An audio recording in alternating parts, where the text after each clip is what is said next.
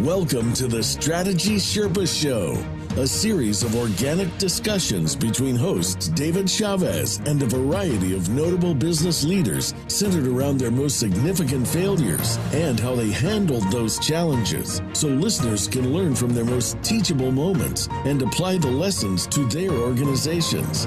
Now, here's your host, David Chavez. Hey everyone, this is David Chavez, the Strategy Sherpa, and boy, do we have a great guest today. Um, I have known Verne for quite a while. As a matter of fact, he's probably the catalyst of me changing my life altogether. And um, just want to uh, um, introduce Verne Harnish with Scaling Up. David, great to be on the show. Good to see you. Yeah, it's great to have you, Verne. Um, I, I, like I said, you're one of the catalysts, and I like to tell a little story. And I don't know, I, I think I've told you before, but it's been so long ago that I'll, I'll, just reshare it and share it for the audience too. In 2001, when I was the president of the EO San Diego chapter, I came to a leadership conference where this guy named Verne Harnish was speaking on his new book, Mastering the Rockefeller Habits. And I got to see one of the first speeches you did on the book. And um, I did like all good entrepreneurs, Verne. I did, took the book back and threw it on my desk where it sat a couple of years. And then when the pain started happening, then the growth of my company picked it up and started using it. And I share this with people because I was a valuation guy. I started reading the books. We started implementing it in our firm, and I tripled my valuation in three years. And that blew my mind uh, being involved in exit planning, buying and selling companies. And then here's this book that comes along and we just read it and start implementing. And it triples my valuation in three years. So that was one of the great things that happened. And I, I, I don't know if you have anything to say about that, but that's what it did for me. Good. Well, that was always the idea of the book. Our our fundamental brand promise which is what we encourage every company to figure out. It's the starting point of your flywheel. Is ours is to scale the valuation. Now that involves obviously revenue and profitability and your own time in the company. There's a lot of factors that go into what actually drives the valuation of the business, but that has always been our promise since I launched that executive program for EO as, as EO's founder. I then launched this executive program in 91 and took 10 years to try to really figure out how we're going to create a parenting manual. There's a lot of stuff for startups. I have an MBA supposed to teach us how to run the grown up companies, but there wasn't a parenting manual.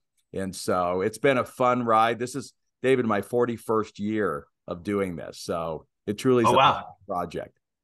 That's interesting. And then I'm in my 14th year of being one of the scaling up coaches with the organization. I think that was coach number 35 when you were actually counting them. So nice. been do we've been doing this a long time now, and of course I've I've uh, leveraged some of the stuff you're doing. And I I love one of the things you say, and I want to bring that to the audience attention. I think that one of the things I love about scaling up the most is it gives the framework, and you always say it gives the rules for writing the music but the music is still yours to write. And I say that to people as one of your best quotes ever, because it really, the scaling up system really allows the business to do what it's doing and not try to change it to some structured program that ha- one size fits all. Yeah, we've always used more of a jazz analogy. Uh, my son, my, one of my uh, four children, is a jazz drummer. And I love that you can bring in musicians from all over the world uh, who've never played together, and they can end up creating some beautiful music as long as you have a common set of rules and you're on the same you know sheet of music which is right, like our right. one page strategic plan and by the way today we have 257 coaching partners on six continents so we've had a little bit of growth uh, as well yeah, it's been a fun ride for me. I think that you have gotten all of us coaches actively involved so we can help you even do better things. And we've leveraged you, you've leveraged us. And it, I think most of the coaches, I can speak for most of us, we just love being a part of this organization because it really provides some great mind share and things like that. And I'm glad COVID's over. So we're all getting together again. So I'm really enjoying that. So yeah, we'll um, all be at Harvard. We've got that new partnership with Harvard uh, mm-hmm. like we had the earlier partnership with MIT. And so excited about having a bunch of us up there on campus here in about three, I think, three weeks. Yeah, yeah. Well, I'm looking forward to going that with you because I invited a couple of clients and they're coming. And then we're all heading to Pennsylvania right afterwards to be with all the scaling up coaches. So yeah, you got it. Yeah. It's a great, it'll be a great, yeah, it'll be great altogether. Hey, Verne. So what we do in this show is we talk about some of our biggest mistakes. And I, I think you already have queued yourself up a little bit with that. But um, I'm I, am just opening the floor up to you to start to share with the audience what what you're thinking about. Is what what was your one of your biggest mistakes? Well, hey, I've had a bunch, and I think anybody who's been in business, if you're not making mistakes, you're probably not pushing the envelope enough. But you know, I I, I really probably want to highlight three. Um, you know, the first is branding. Uh, you know, we got talking about, you know, starts with my name. I, you know, my first name is Verne. And by the way, you do not want to be in a bar with the name Verne. So I ended up having a bar name, Justin, and my last name was Case. My wingman, he'd go by Justin as well. In fact, I was just best best man in his his wedding a, uh, a few weeks ago, and he was just in time. And together we were just incredible. I know it was corny, but at the time and but but you know I I didn't really plant this. I was listening to police last night, and you know I think that industry understands the importance of getting the name right. You know, he was Gordon Sumner. He changed his name to Sting. We were talking about the founder of Marvel, um, changed his name to Stan Lee so that everybody could pronounce it and remember it. And so that was my first mistake. You know, I named the company Gazelles. I thought that was going to be clever. That's the technical term that David Birch at MIT gave to growth companies mice, gazelles, and elephants. But nobody could spell it.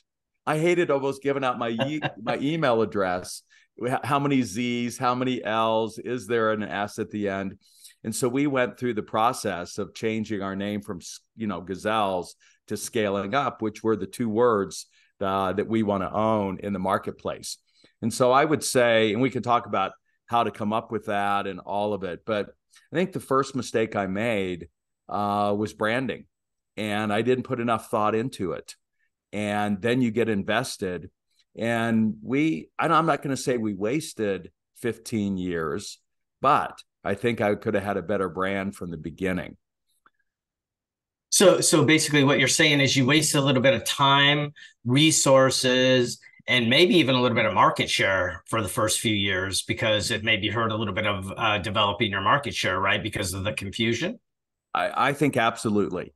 Okay. Um, and so, first, hopefully, folks give a little bit more thought um, into what they ought to call the company, and uh, because man, you want to you want to go big, and you want to make sure that it's one that you're going to stick with. I think the second you know mistake I made early on, and here I was arrogant. I I was dutifully losing money there in the late 90s, like you were supposed to, supposedly, as we went from half a million to a million to two million to four million. We're getting ready to do eight million. And I'm out raising 10 million to do an acquisition. And the money folks kept saying, look, I think your business model is broken. You're running a 42% gross margin we think it ought to be 55%. And I'm like, no, I'm smarter than you guys. And sure enough, I got my head handed to me. Uh, when 9 11 hit, we lost about a million dollars in eight weeks. And again, I'd been dutifully losing money from my, you know, that investors had put in because I was, quote, growing, but I was actually growing broke. That's where that mm-hmm. term came from. I was living my own nightmare. And, you know, we can talk in the next segment how I fixed it.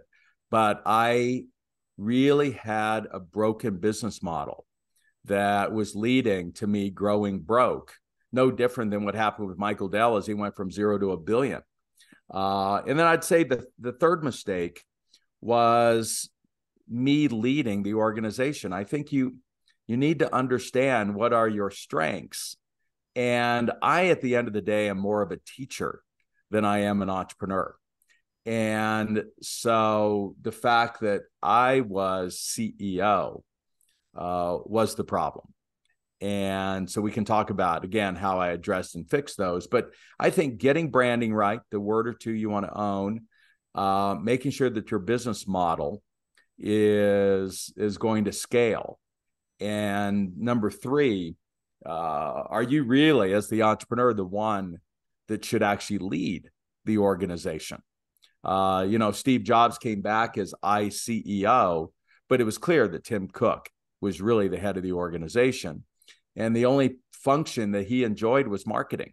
So he chaired the three hour marketing meeting every Wednesday afternoon, uh, even though he still maintained the title. And that's what really drove our, our tool, the face tool, the function accountability chart. And so after break, we can tell some stories that I learned from that then caused me to wake up and get some real leadership in the organization. Well, it's it's really interesting because you talk about the three mistakes, and one of the the second one, the business model. It's really interesting doing our work because people fall in love with their business model so much yeah. that it's hard for them to really get their strategy in place because they've fallen in love. I I, uh, I use that quote from Jack Welch: "Strategy is not a lengthy action plan; it's an evolution of a central idea through continually changing circumstances." That's one of my favorite quotes, and I know you're the one who shared it with me originally, but but it's one of those quotes that's so true because people fall in love with their path of where they're going instead of falling in love with where they're going. Um, and so the way they're doing it and um, that that hurt a lot of companies during covid. I, I mean i know when covid started i got got with all the companies i work with and i got them focused on that BHAG and kept them focused on that and they all did fairly well um, it's just the difference of whether whether you're looking at just your business model and you can't change it, or that long term. So I look forward to having that conversation with you.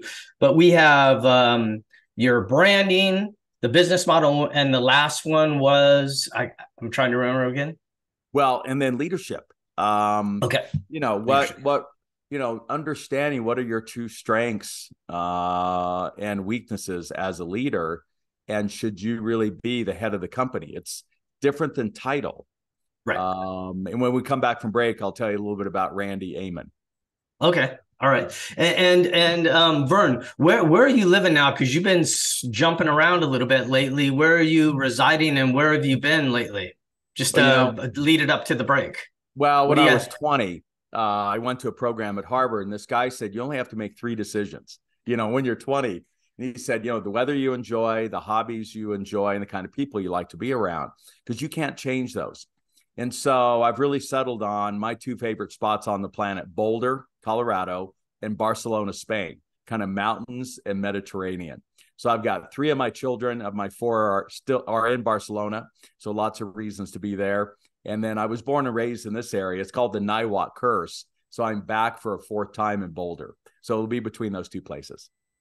All right. Well, that's great. Well, we're heading up to a break and um, look forward to having the conversation with you. Everybody, we have Verne Harnish with us. He is the founder of Scaling Up um, and one of the people that really has have driven my success and many others like me, and then also the success of our clients and the work we do with them. So it's a real honor to have him here. We'll be right back after the messages.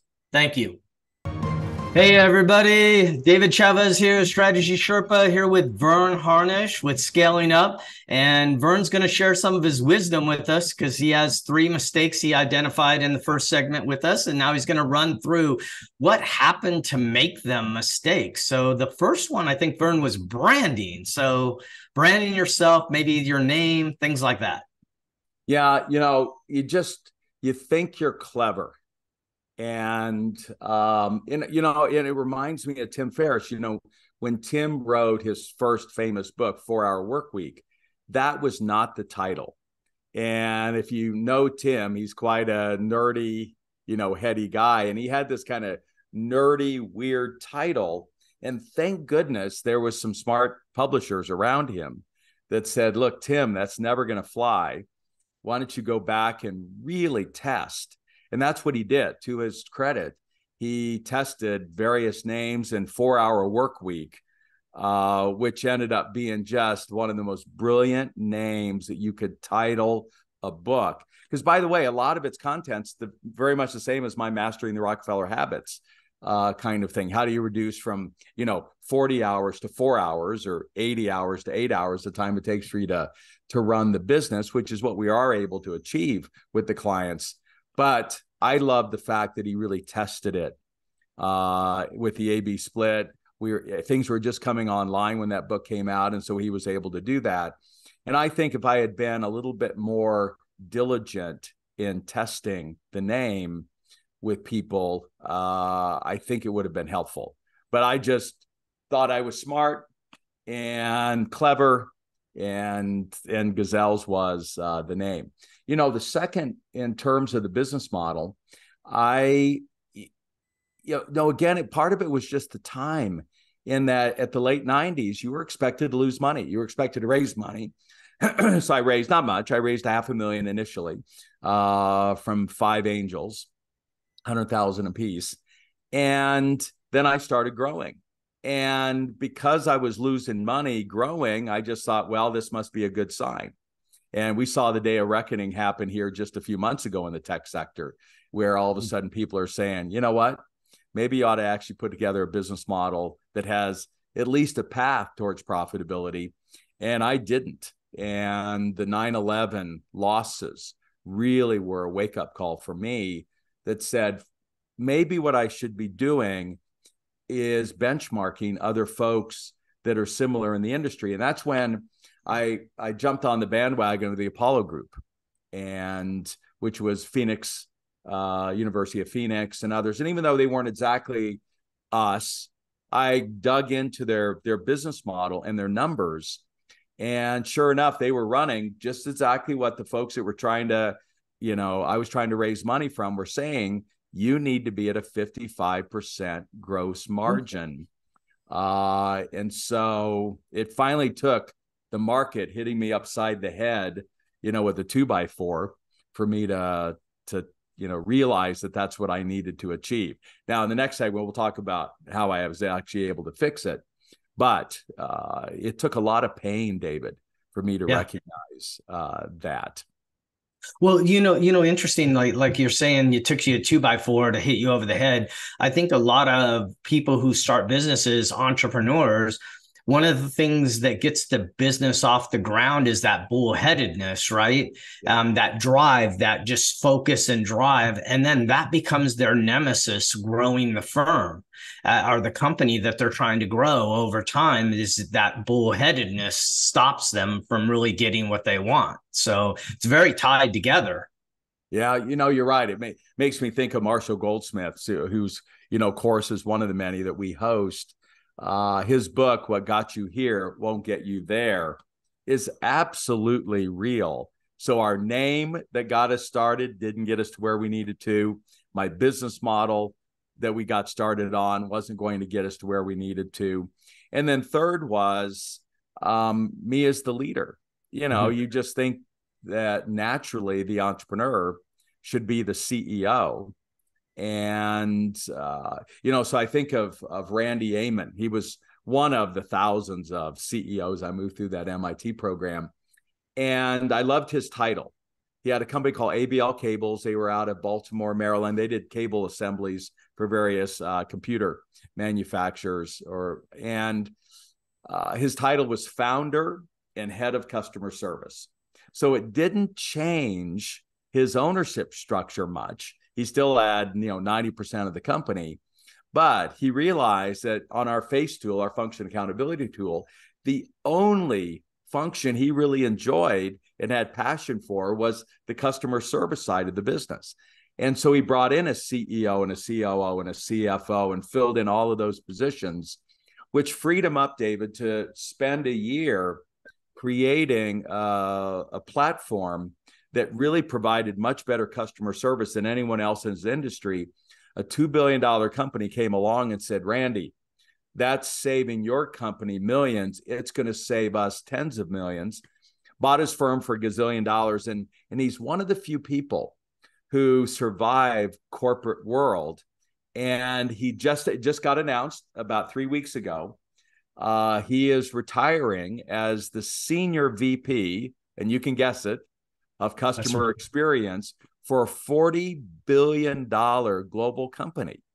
And nice. so he stuck to his knitting in terms of what was his strength and backfilled in all the other positions and didn't have an ego that meant that he needed to be CEO of his own organization. And I think that's what I had to realize is that again, I'm a teacher and not really the the person who ought to be scaling a company. Uh, again, those who teach usually are the ones who can't do. I joke about that, but I think it's true. Uh, and I had to come to that realization. Well, it's funny you say that because you've had people running scaling up ever since I've been here, and I, um, and the first one that you had running it had just come in right about the time I came in, and it's been very good. And then you had to take it over and run it for a little bit. And one, I remember you saying to all of us coaches, like, "Look, I am not going to be the guy that runs this because I want it to continue to grow." And so uh, you brought in another leader, John, and he's done an amazing job really scaling this out with your help, of course. I mean, you're actively involved in it and then you support us tremendously. So it's been a good relationship for you. And then you uh, every time you've done something with me and you up teaching you could just you glow. So you know that's where, where that's where your glow is right? Yeah that's where yeah you got to play to your strengths. And i think right, marcus buckingham you know was right. And it's really sitting there and getting clear what gives you energy what gives you strength and what wears you out and yep. you know, I I often joke, but I think it's true. Implementing everything I teach wears me out personally, but I know we have to do it.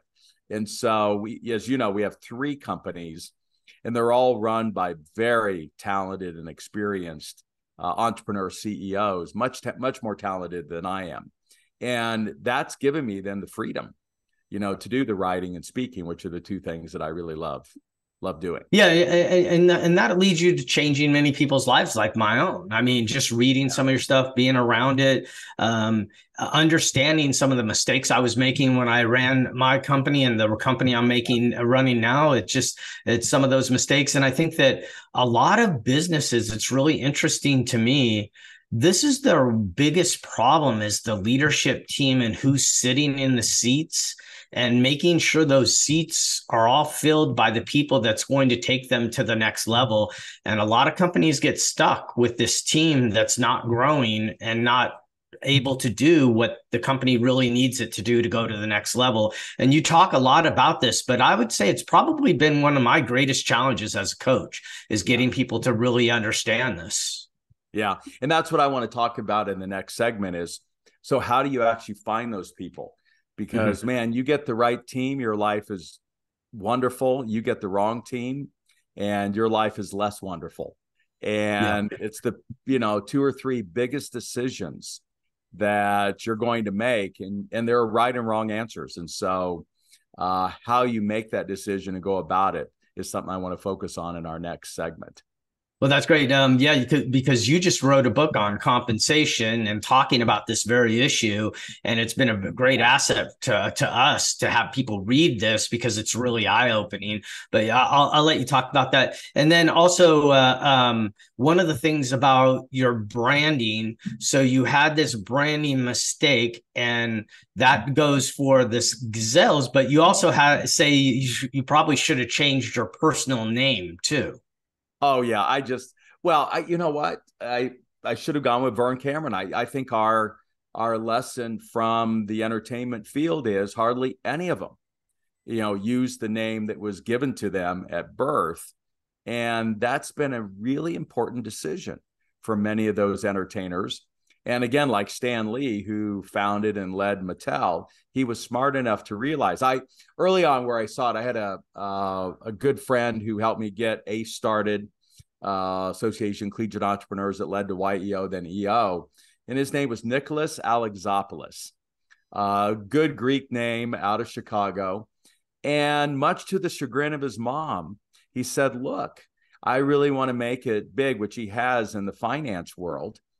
And it's going to be a hard name for me to spell and for people to remember. And so we changed it to Nick Alexos, A L X, you know, O S, L E X O S. And uh, I think it served him well at age 20 to have made that decision. And so I don't think it's just something you play with. Stan Lee did it on purpose, Nick did it on purpose, and Gordon Sumner did it on purpose as he rebranded as Sting. And I think that served him well uh, along the way.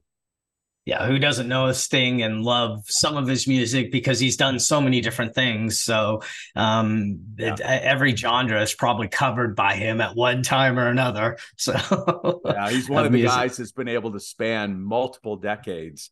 And that's what we want to do as entrepreneurs. Uh, this is my 41st year, as I mentioned it. And, uh, you know, um, and and that's why I wanted to get the leadership in place so I could do. You know, Peter Drucker wrote 39 books uh, two thirds of those after age 65. So wow. he did most of his work. And I turned 65 next year. So I'm looking forward to accelerating really my my opportunity to impact the world then think about anything like retirement yeah, it's it's funny because when you ask people about retirement, um, if the, if somebody's a business owner and a true entrepreneur, they they'll look at you and say, "What's that?" or they may say they're retiring, and I've had several friends retire to two years later start another company, so because they're bored. So yeah. All right, Verne. Well, it's great conversation so far. We'll look forward to coming back to you uh, at the after the next break. And thank you very much. We have Verne Harnish with Scaling Up with us. It's a real honor to have him with us, and we'll look forward to co- having you come back right after the break. Thank you. Hey everyone, I keep on jumping the gun here on the introduction back to the show. Um, that's because we have Verne Harnish with Scaling Up here, and he's been sharing us some great insights from uh, mistakes he's made over the years. And he's going to enlighten us with how he overcame those mistakes um, in future years. So, Verne, first thing is the branding. So, we talked a little bit about that. Yeah. Well, and you know, there I turned to the late Clay Christensen. We lost him last year to long-term illness at Harvard. And Clay popularized what I think is the most important strategy question, which is what's the job to be done? And to the extent that you can reflect in your name the job to be done, that brand promise. And so that's what really led us when I wrote the book Scaling Up. There, I was finally able to give a lot more thought to what is the job we want to do in the marketplace and specifically help companies scale up their valuation. Um, or I think it needs to be a, a, name like what Standard Oil, you know, the namesake of my first book, Mastering the Rockefeller Habits, John D. Rockefeller. Uh, that company was Standard Oil, and later on made the big important decision to rebrand as Exxon, making sure they had a lot of X's and those things. Um, and if you look at the most successful companies, Amazon, Apple, Google. They're, they're names that, in some sense, reflect um, what it is they do. Amazon's got, you know, allows you to get everything you might want to get in the in the Amazon, but they were also just fun and clever that people could remember. And that's what brand is: is just trying to own a word or two in the minds of the marketplace. And at some point, good and bad, we now talk about Googling things. Uh, if your name becomes kind of synonymous with the very job to be done search, then you've won and you've won big. So I hope folks will take a little more time on that with branding. You you you you brand yourself too, did you not? Yeah, and that was another mistake I made. I I called myself the growth guy, and uh, I think a lot of folks just thought that was either Viagra or other related. And uh, you know, so I'm not sure uh, that was a good idea as well. But it was the attempt to say, all right, how do you position yourself in other people's minds so they can refer to you? And so I had that brand for quite a while as well. Now, hopefully, okay. I'm the scaling up guy. Yeah, yeah, yeah. That I, I, think you're known as a scaling up guy now. So, but but it was just interesting. I didn't know that about the growth guy that people were yeah. doing that with you, but I could I could vision that and actually see that. All right, so um, so thank you. So I think that what people what you did is really focused in. You hired Apollo. They really helped you um, pull this back and take a look at it. Well, I didn't hire Apollo Group. I said you know what? I really should set aside my ego. I should go look at some very successful companies that are in a similar space and go study their business model, at least their numbers. And I saw the Apollo Group spent 13% on as a sales cost, 5% on R&D creating new courses. Of course, they had a 55% gross margin. So, after kind of being slapped slapped upside the head in 2001, I decided one of our core values now is to practice what we preach. And uh, one of my mentors, Jack Stack, The Great Game of Business, it was all about setting a critical number. So I made a decision in 2002. Look, I'm going to figure out what it takes to be at a 55% gross margin instead of a 42%. That was the focus that year, and we achieved it. And we have not been below 55% since.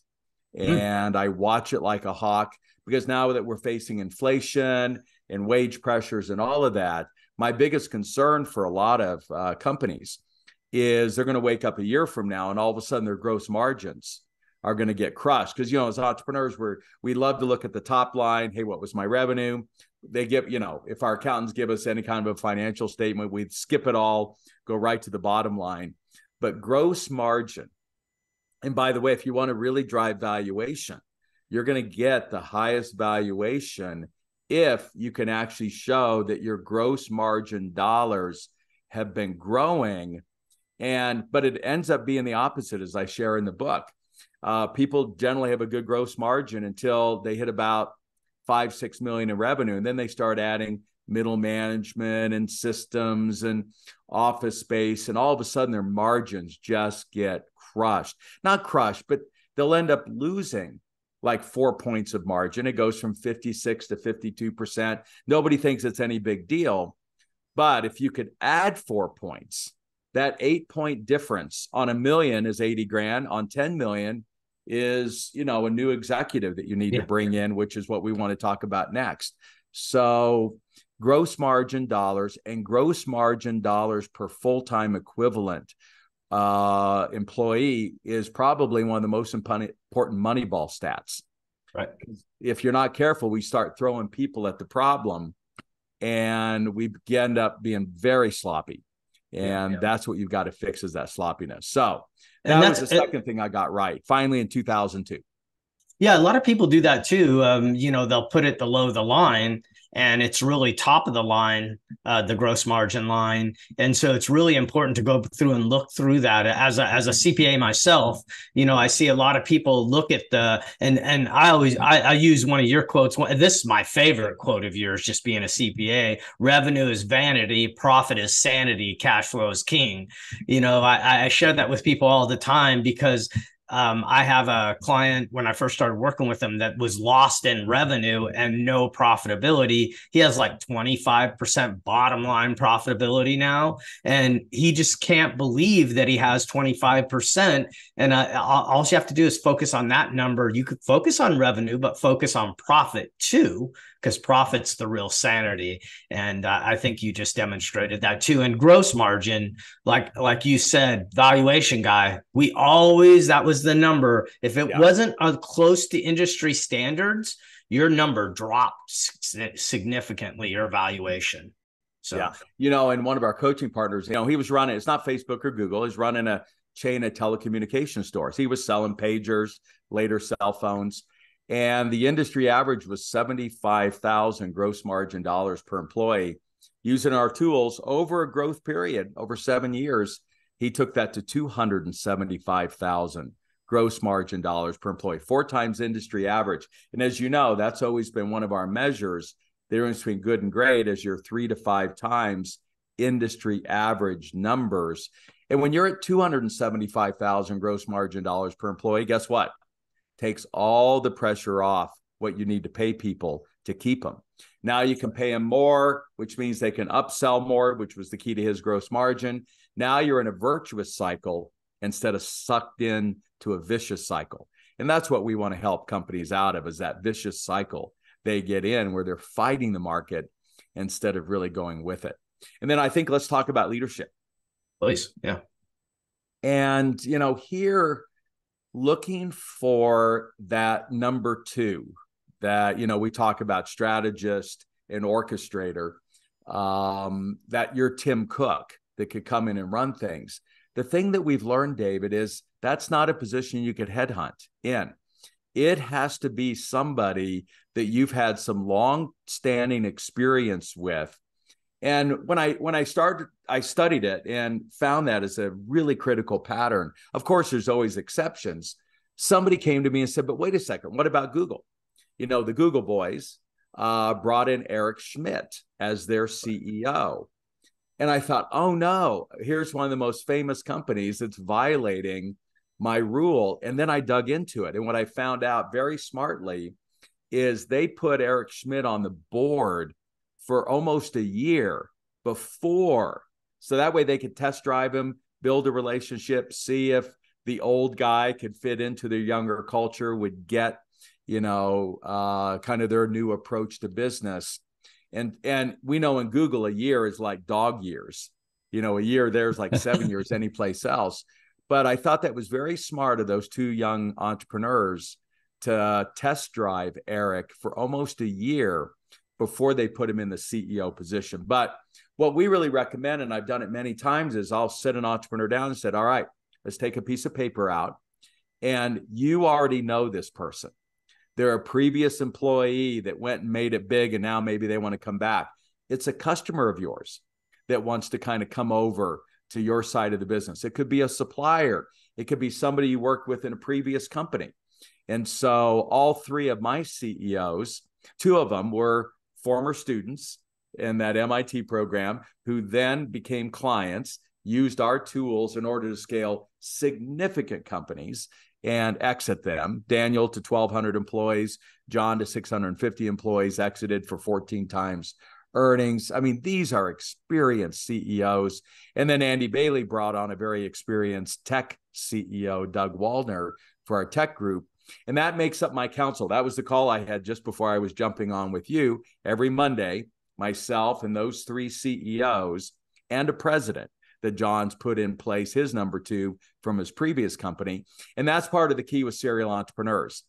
They will take, once they exited like John did, that usually the big company messes everything up, which they did. And he's eventually got his entire team back uh, so they can rob the next bank. It's a little bit like Ocean's, whatever they're on, 23 or whatever the case is, the movie. But you keep the old team together because you've already done the forming, storming, norming phase, which becomes critical. Yeah, it's it's really interesting you say that because I've I've worked with several people who have started new companies and they actually end up over time they end up mm-hmm. getting their whole team back and that's the trust level is really high, understanding of each other's strengths and weaknesses is really high. It really allows the team to really go faster. Yeah. Well, and that was Norm uh, Noam Wasserman's research at Harvard, David, uh, and Ed Roberts did it similarly at MIT co-founders scale much faster than single founders. Three scale faster than two four you know airbnb's got three co-founders and they're still all there. Uh, four scale faster than three and five scale faster than four then you run out of data points. And particularly if you launch a company with what we call an intact team uh, you work together some other place and then you left now you've already got that intact team you can scale much further faster than if you're having to recruit in people that you don't know. So it's sort of like what Jim Collins says is get the right people on the bus. So you're saying all these are people are the right people, and then the bus will then those people will decide where the bus is going and how to get there.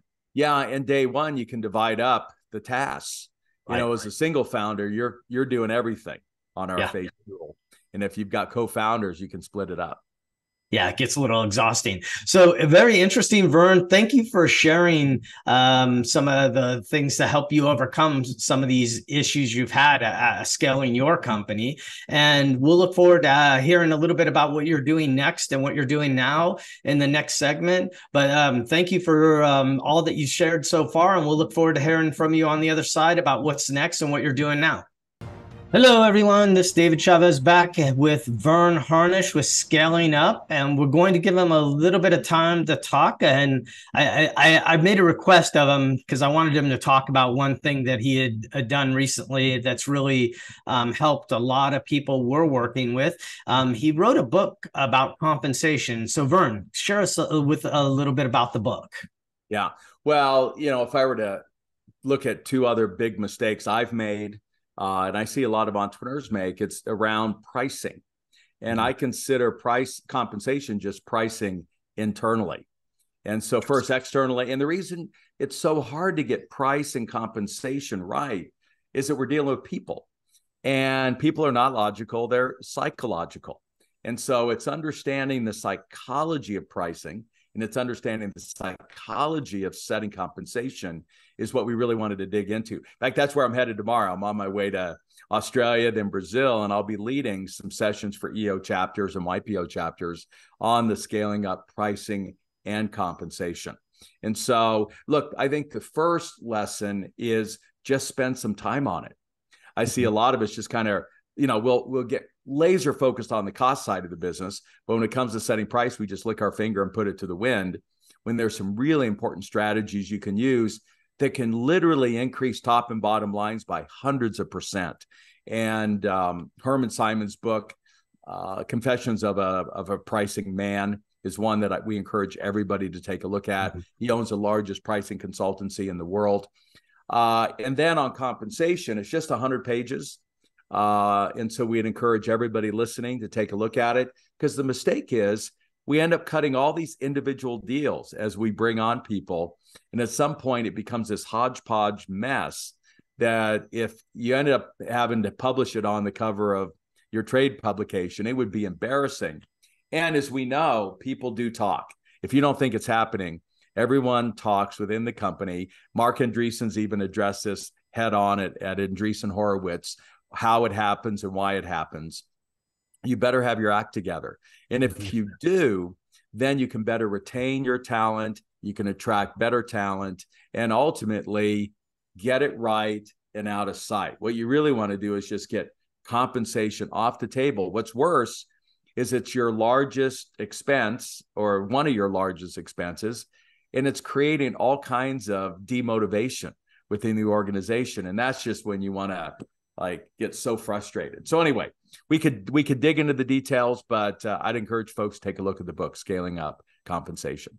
Yeah, but I, I just think that right there at the end, you really hit upon the issue. Um, with compensation, you can actually demotivate people. And it's really interesting how disconnected the logic of what we're trying to do and what we're actually having people end up, their psychology around where they end up and how they perform in your company just off a few dollars sometimes or the way the compensation works. So yeah and it's really interesting. probably two two key points i'd share just in a few minutes we've got. You know the first is think more like a professional sports team.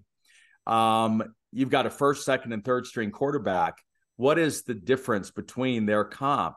It can be 10x if not 100x and so first it's not about equal pay it's about fair and there's nothing more unequal than trying to pay people equally who are unequal. And so have very wide pay bands. And so at John Summers' company, Allied Printing, you know, a customer service rep comes in at about 80% of market and can progress to where they can earn up to twice their market rate. Uh, I'd rather have less people paid more than more people paid less. And he's got that with almost every position in the organization. The second thing John's done, and we highlight that, that in the book, mm-hmm. is he then pays a company wide bonus. But here's the smart thing he only pays out 50% of that bonus. The other 50% vests over the next five years. And so as a as a person stays, there are these bigger pots of money out in the future that are growing. And we know people do more to avoid a loss than to get a gain. And so somebody's going to think twice about leaving all of those future pots of money on the table.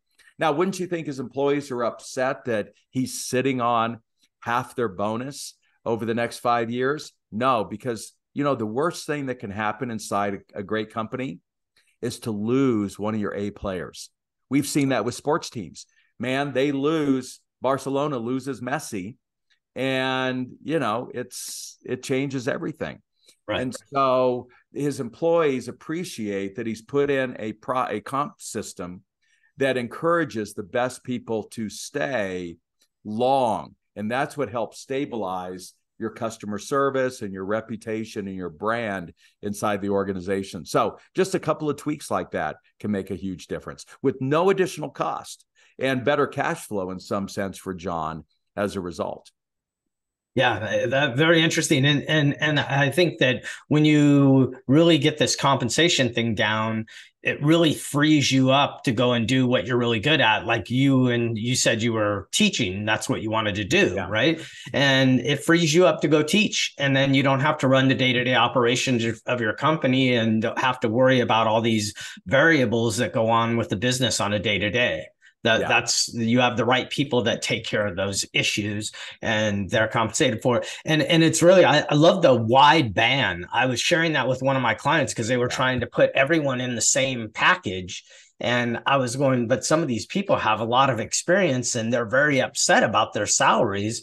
And when they started looking at the wider band they could actually see okay, this person's only has a year experience where this person has 10 years experience and very knowledgeable in this area. They should not be on the same scale, even though they're technically competent in similar thing.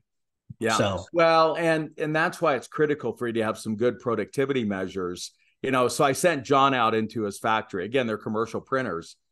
And he found he's got a guy out there called a cutter.